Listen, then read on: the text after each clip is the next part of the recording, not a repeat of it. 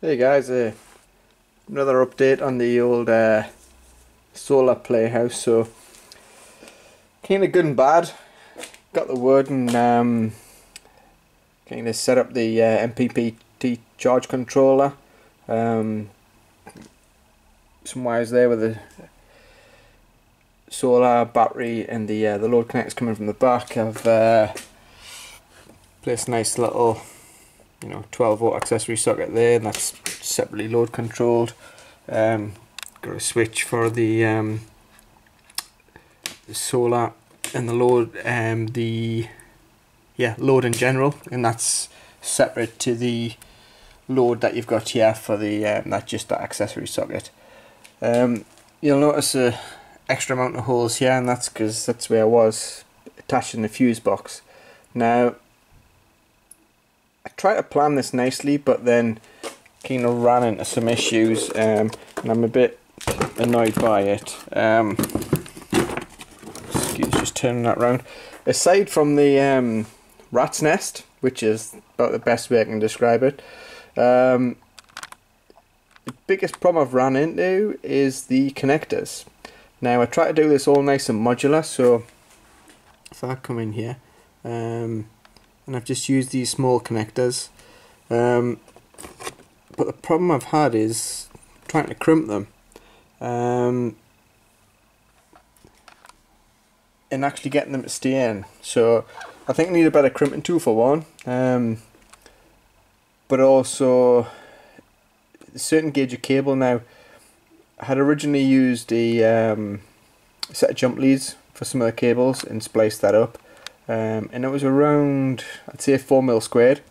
Um, and that's the legs of this cable. Um,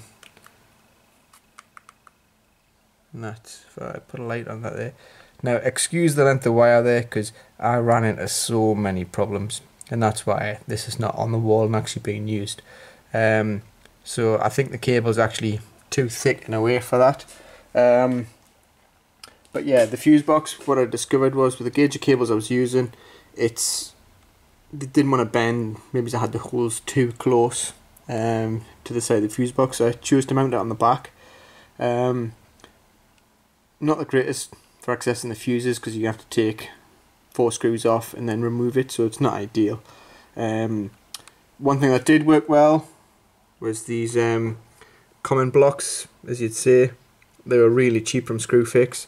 So I'm going to have a, a negative one and a, a, positive one. That worked great. Um, what didn't work well, small connector block I got here.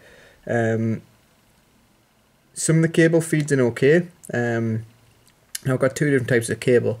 Um, the cable you see here goes in pretty well. Um, now this is 4 mil squared cable, but it is um, not it's only a few strands. Um, what I'll do is um, just to show here, um, if it'll focus, yeah, it's about,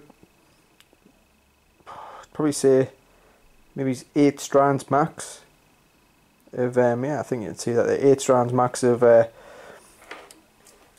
thick gauge cable. Um, not as uh, malleable, doesn't bend as well. Um,